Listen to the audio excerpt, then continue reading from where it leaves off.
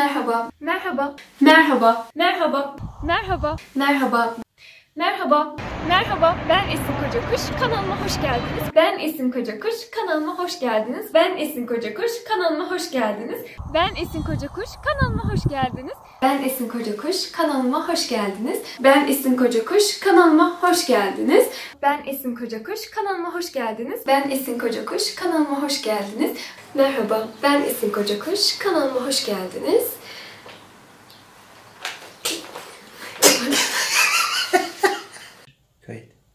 Merhaba, ben Esin Kocakuş. Kanalıma hoş geldiniz. Merhaba, ben Esin Kocakuş. Kanalıma hoş geldiniz. Bugün sizlere senenin son videosunu yayınlamaktan mutluluk duyuyorum. Yine çok farklı bir içerikle birlikteyiz sizinle. Bir önceki videomda çok hafif bahsetmiştim ama içeriğin ne olduğuyla ilgili bilgi vermemiştim. Bu e, videomuz tamamen 2018 yılını nasıl geçirdiğimizi aslında bir nevi benim için özet, özetleyen bir video oldu. Çünkü tüm kamera arkası görüntülerin bir arada olduğu bir yayın olacak. Ben video ile ilgili çok fazla bilgiye sahip değilim çünkü derlemelerin hepsini eşim yaptı. O yüzden neler var neler yok hiçbir bilgim yok. Tamamen sizlerle birlikte ilk kez izliyor olacağım ben de. Bu yüzden hem heyecanlıyım hem neler yaşamışız, tekrar böyle etmek e, çok güzel olacak benim için de. Ayrıca 2018 yılını çok güzel bir şekilde tamamladım. Tüm hedeflerimi aslında başarmış olarak giriyorum 2019'a. Küçük küçük hedeflerim e, vardı. Hatta hedeflerimin çok daha fazla üstüne çıktım. Bu yüzden bu çok mutluluk verici bir şey. E, genelde şu tarz sorular geliyor atölye açmayı düşünür müsünüz? İşte e, bir, sene, bir sonraki sene neler yapacaksınız falan diye. Arkadaşlar ben atölye açmak istesem hemen şu dakikada açabilirim ama kişisel tercihim olarak erteliyorum. Normalde zaten benim öncesinde bir atölyem vardı. Evlendiğim için atölyeme ara vermek zorunda kaldım. Daha doğrusu İzmir'de bulunuyordum. İzmir'den Ankara'ya gelin geldim. Bu yüzden atölyemi mecburen kapatmak zorunda kaldım. Eşim de bu dönemde çalışmamı istememişti. Sonrasında hem e, işte Ankara'ya biraz alışmış oldum. Hem oğlum dünyaya geldi, onu büyütmüş oldum. Yani dediğim gibi ben atölye açmak istesem ya da herhangi bir mağaza açmak istesem onu şu an bile yapabilirim. Ama benim isteklerim çok daha farklı. Onlarla ilgili çok da bilgi vermek istemiyorum açıkçası. Önümüzdeki senelerde gerçekleşmesini umduğum hedeflerim bunlar. Şimdi çok merakla böyle videoyu izlemeye başlayacağım. Umarım siz de benimle birlikte keyifle izlersiniz. Umarım çok eğleniriz. Başlıyorum.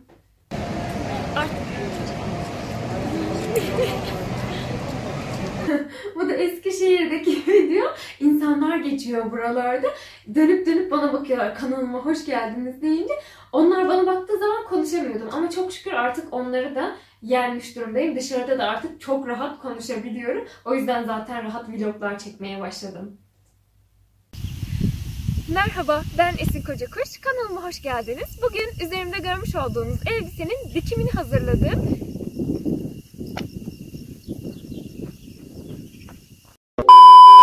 Bugün üzerimde görmüş olduğunuz elbisenin dikimini... Bunu defalarca çektik. Yani hani burada birkaç tanesini görüyorsunuz. Ee, bu arada arkadaki yerin neresi olduğunu çok fazla sormuştunuz o dönemlerde. Arkası bizim evimize çok yakın bir köy var. Ee, yaklaşık 5 dakika mesafede. Ee, canımız istediği zaman çekimler için oraya gidiyorduk. Böyle ilkbahar e, ve sonbahar aylarında da çok güzel görünüyor zaten o taraflar. Yine oralardan birindeyiz. Defalarca çekim yaptık. O kadar çok çekim yaptık ki bir türlü konuşamadım, bir türlü cümleyi toplayamadım. Yine bu da başlardaki videolardan birisi. Bugün üzerimde görmüş olduğunuz elbisenin dikimini yaptığım bir video hazırladım. Sonunda konuşuyorum. Videonun sonuna geldik. Beğendiyseniz beğenmeyi unutmayın. Aa yok. Bu da Annemle babam vardı. Çardak'ta Hamza ile birlikte bizi bekliyorlar. Bir an önce çekelim de gidelim. Hani onları bekletmeyelim diye uğraşıyorum. O, tamamen aklım falan onlarda olduğu için resmen cümle kuramıyorum burada. Beğendiyseniz beğenmeyi diye böyle saçma bir cümleyle eşime soruyorum ben ne diyecektim falan diye o taraflar yok herhalde. Bu kadarını koymuş. Konuşma. annemi uyarıyorum. Ee, şey, bana sürekli bir şey söylüyorlar. Şunu da söyle, bunu da söyle falan diye. Arka taraftan sesler geliyor. Diyorum ki sen de sus, sen de sus. En sonunda annem, anne konuşma diyorum ama sadece konuşma kısmını almış eşim. Merhaba, ben Esin Kocakuş. Kanalıma hoş geldiniz. Kafam çalışmıyor, durdum. Kafam çalışmıyor, durdu diyor. Kafam çalışmıyor, durdu. O kadar tekrar ettik ki o gün e, iki videonun çekimini üst üste yapmıştık. Çok yorulmuştum artık. Arkada da Hamza oynuyor. Bu arada Hamza oynadığı zamanlarda daha rahat çekim yapıyoruz. Onun en rahat ettiği dönemde çekim yapmaya çalışıyor. Ama gözüm sürekli ona kayıyor. Aklım sürekli onda geniş alan. Hani başına alıp gidebilir korkusu yaşıyorum. Ne kadar da e, yakınımızda olsa. O yüzden aklım onda olunca böyle beyin falan yanıyor bazen. Bir de üst üste çekimler yapınca bu tarz şeylerle karşılaşabiliyorduk. Yine hadi. Nasıl ineceğim? Yine hadi. Nasıl ineceğim? Ee, saat 10 civarıydı. Tam AVM'lerin kapandığı saat. Artık orada da yine iki çekim yapmıştık. İç e, kıyafetin ve dış e, ceketin videosunu aynı anda yapmıştık. Dolayısıyla tek bir video bile çok uzun vakit alıyor. İki videoyu üstte, üst üste yaptığım zaman da gerçekten yoruluyorum artık. Hem beyin olarak hem vücut olarak. Zaten sabahında da muhakkak dikim yapmış oluyorum. Yani tüm günümü video ile geçirmiş olduğum için bayağı yorucu oluyor. Orada böyle error verebiliyorum bazen.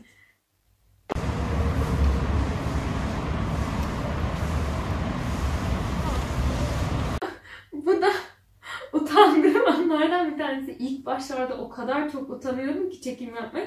Birisinin geldiğini fark ettiğim anda hemen durdur videoyu durdur diyordum eşime. Tamam çekmiyorum ne kadar çektiysen o kadar diye. Gerçekten o dönemler aşırı utanıyordum. Bir de insanlarımız çok fazla böyle hani merak edip bakıyorlar. o da beni e, çok geriyordu. Çok zor çekiyordum ilk başlarda. Şimdi biraz daha açtım, daha rahatım. Yüksek sesle. Tamam söyle. Aa, işaret ediyorum ama hayır arkadan birisi geliyor diyorum. Arkadan gelenler var konuşamıyorum. Bu da yine utandığım zamanlarda. Dur dur diyorum.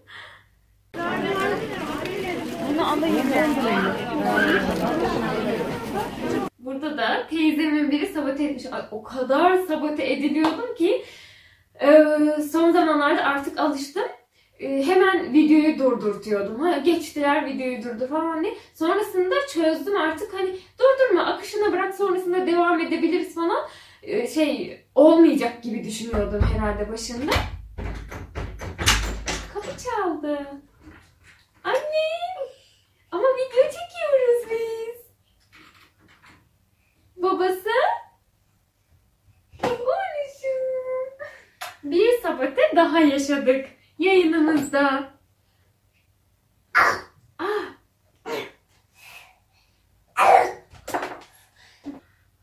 Anne olmak defalarca videonun başından kalkıp bebeğinle oğlunla ilgilenmek demek hemen devam ediyorum. Merhaba ben Esin Kocakuş kanalıma hoş geldiniz.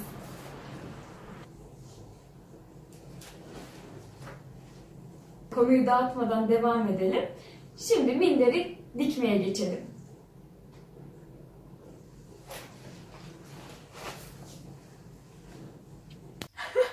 Burada sabah başladım çekime akşam olmuş. Arkadaki e, görüntüyü de görüyorsunuzdur. Bilmiyorum dikkatinizi çekti mi? Artık e, yüzümü aydınlatması için koyduğum ışık arka cama yansıyor. Ve ben sürekli sağ tarafıma dönüp bakıyorum. Yan taraftan sürekli komşular çıkıyor. Bu ne yapıyor diye düşünüyorlardır. Çünkü şey e, kendi kendime konuşuyormuş gibi görünüyorum. Kamera bayağı içeride. Burası benim balkonum. E, oldukça derin. Kamera çok içeride görünmüyor o yüzden.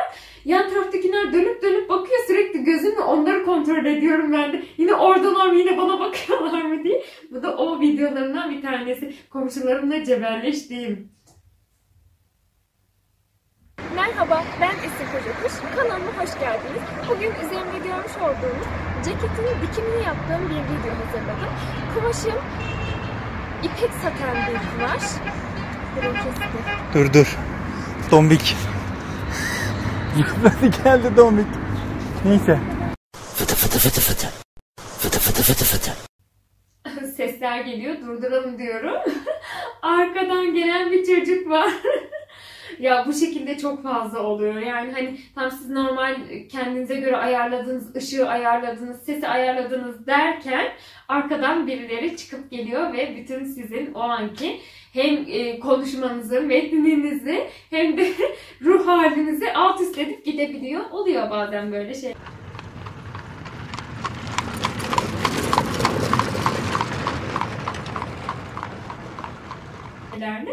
Bu da e, arkadaşımızla birlikte gezmeye gitmiştik. Konya mıydı burası? Evet Konya'da gitmiştik bir yere. Orada e, e, çok harika bir ağaç ve kapı var. Ve o kadar kuyruk var ki bekliyorsunuz sırada fotoğraf çekilebilmek için. Neyse zar zor fotoğraf çekilmek için sıra bize geldi. Geçtik ama şansımıza önümüzden fayton geçti. Tüm karelerde zaten belli oluyor. Biz hiç yalnız yokuz.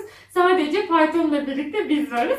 Yani tüm fotoğraf buydu orada yakaladığımız. Zaten o kadar çok kişi var ki hani daha fazla meşgul edemiyorsunuz. Hemen geçmek istiyorsunuz. Bize de faytonlu an kalmıştı öyle. Görmedim, varsa alırım. Bakarım oraya. Bu da İzmir'den Ankara'ya dönüyorum. Hamza o kadar sıkıntılıydı ki uçağa binerken çok zorlanıyordu. Zar zor uyutmuşum böyle çok mutluyum uçağa gideceğiz diye biz. Arkadan çalışanların sesi bangır bangır bağırıyorlar. Neyse en sonunda Hamza'yı kucağımda uyuttuğumu görünce herkes ondan sonra herkesi kendisi uyarmaya başladı. Sessiz olun sessiz olun çocuk uyuyor uçağa geçsin sessiz olun falan diye. Bazen böyle şeylerde yaşıyoruz. Bravo. kısım da benim e, ilk herhalde badire atlattığım kısımlardan bir tanesi düşüyordum yürürken. Bu da böyle küçük bir nazarlık olsun ama düşmedim. Evet.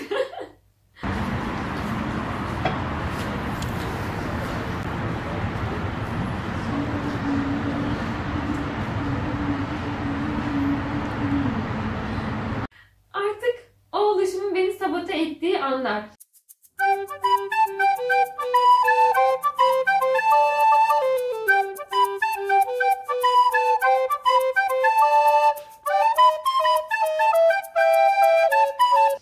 Ee, Hamza tüm çekimlerde yanımızda oluyor. Yani bizim onu bırakıp bir yere gidebilme gibi bir imkanımız yok. Çünkü eşimin ailesi Afyon'da yaşıyor. Benim ailem İzmir'de yaşıyor ve biz Ankara'da yalnızız. Herhangi bir yakınımız bulunmuyor. O yüzden e, Hamza anaokuluna da gitmediği için ve sürekli birlikte olduğumuz için hiç kimseye de bırakamıyoruz. Dolayısıyla çekim anlarında da yanımızda ve sürekli onu en rahat edeceği vakitleri seçiyorum. İşte en mutlu olduğu an, uykudan kalktığı an ya da uyku vaktinin geldiği an işte arabada çok rahat uyuyabiliyor Hamza. Denk getiriyorum. Saat 2 gibi uyuyacağını biliyorsam hemen Hamza'yı ayarlıyorum, giydiriyorum, işte karnını doyuruyorum. Ben de hazırlığımı yapıyorum. Saat tam 2'de arabada oluyoruz. Hamza kendi koltuğunda uyuyup gidiyor. Biz de çekimlerimizi yaparken rahat ediyoruz. Bazen uyanabiliyor. O zamanlarda da olduğunca özgür bırakıyorum. Hani kendi haline ne kadar rahat olursa biz de o kadar rahat ediyoruz. Ee, o yüzden arada çekimlerimi e, arasına giriyor Hamza müdahale etmek istemiyorum. Yani onu kısıtlayarak iş yapmak istemiyorum. O ne kadar rahat olursa ben o kadar mutlu oluyorum. Çünkü o yüzden bazen aralara giriyor ama müdahalede bulunmuyorum. Girsin. Sorun değil oluşum. Onu bekliyoruz aralarda da. Burada Arkada Hamza mı? Tamam. Süper. Aynen.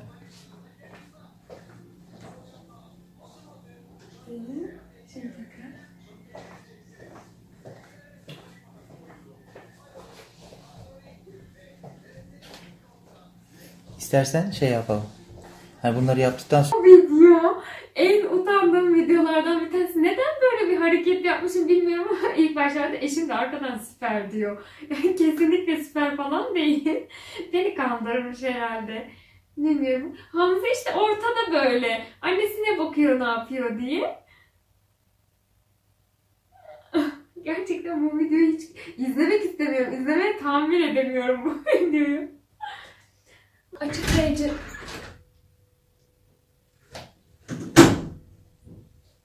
Babası. Çekimin ortasına mı girdin sen? Gel buraya. Gel buraya. Neyse bir gel şu Ver videoya bak. sana, ver sana. Tam çekimin ortasında kapının sesini duyup durdum.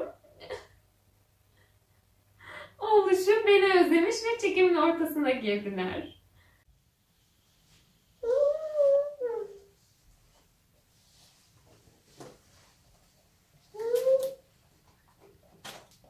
Devam ediyoruz. Bu da çanta videosu. Bir türlü Hamza'yı kenara alamadık burada.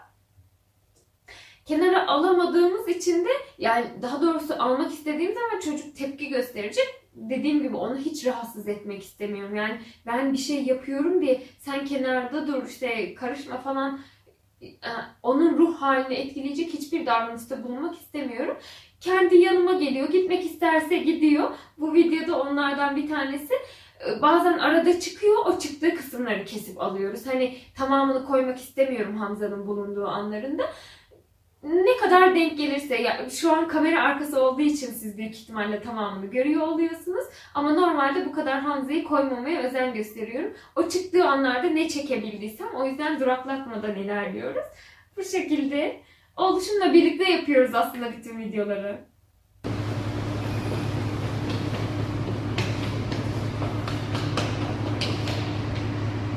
Tamam dön.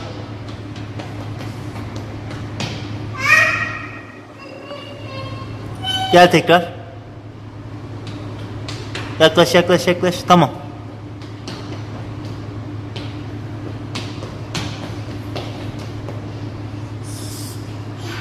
İşte dediğim gibi burada hala yürümeye falan devam ediyorum. Eğer Hamza çıkarsa hemen o kesiti alıp e, videolarda kullanırız diye. Ama Hamza'nın da burada oynayacağı tutmuştu. Hatırladım yine bir AVM'nin alt katında en müsait olan kısmındaydı. Oğluşun e, yerleri vurunca şap şap şap ses çıkıyor. Çok hoşuna gidiyor. O, ben yürüdükçe o da bana mankenlik yaparak o sesi çıkarıyor. Çok hoşlanıyordu ondan. Bir dönem bunu yaptı benimle sürekli. Çıtaları kurduk. Görünümü bu şekilde. Şimdi diktiğim evi bunun üzerine geçireceğiz. çadır videomuz. Hemen bundan bahsetmek istiyorum. Çıtaları yaparken çok zorlandık. Şu kelepçeler var ya çekilerek e, takılan kelepçeler. Onlarla yaptık. Bir kutu, bir paket daha doğrusu kelepçeyi ziyan ettik resmen. İçinde 50 tane mi var, 100 tane mi var ne bilmiyorum ama biz onları defalarca söktük, taktık olmadı, söktük, taktık olmadı. En sonunda çıtaları kırdık yaparken. Hatta görürsünüz e, yedek bir tane fazla çıtamız vardı. Onu kesip Sonra birbirine işte muntazam dursun, sağlam dursun diye yama falan yaptık. Bayağı zorlanmıştık. E, İşte Hamza da olduğu için oynamak istiyor, dokunuyor falan filan. Çok zor bir e, kurum olmuştu. Normalde bu kadar zorlanılmaması gerekiyor ama biz e, resmen cebelleştik o gün. Zor olmuştu. Tamam tamam görmüştür. Güzel. Yok şimdi şey ya. Tamam tamam güzel. Çektim. Anneme perdesi dikmiştim. İlk diktiğim perdesi. Ee, çekimini yapmayı fırsatımız olmamıştı sanırım. Evet annem ertesi gün gidecekti. Diktim. Anneme verdim. İzmir'e annemler geri döndü. Erkek kardeşim de normalde İstanbul'da çalışıyor. Annemin yanına gittiği zaman e, ondan rica ettim. Dedim ki annemin muhakkak partoyu giydiği zaman e, videosunu çek bana at. Sanırım anlamamış orada. Ben aslında videoyu kullanmak istediğim için çekmesini istemiştim. Ama o e, sadece ben göreyim diye hani tamam tamam ablam görüyordur tamam yeterli olur gibisinden annem diyor ki düzgün çek. Karşıma orada tamam tamam anne tamam tamam çektim diyor. Ama mecburen bu videoyu kullanmak zorunda kalmıştım. Çünkü elimde başka bir ım, görseli yoktu annemin işte diktiğim pardesonun. Ben çok keyif alarak izledim kamera arkasını. Umarım sizler de keyifle izlemişsinizdir. Ve 2018 yılı klasiği olarak videomu beğendiyseniz beğenmeyi, kanalıma abone değilseniz abone olmayı ve orada bulunan zil işaretini açmayı unutmayın. Videolarımdan anında haberdar olmak istiyorsanız orayı açmanız gerekiyor. 2018, 2019 yılında 18 dediğiniz alışmış. 2019 yılında yine sizlerle birlikte olmak isterim. Umarım sizler de benimle birlikte olarak videolarıma destek verirsiniz. Bir sonraki videoda görüşmek üzere. 2018 yılının son videosuyla hoşçakalın.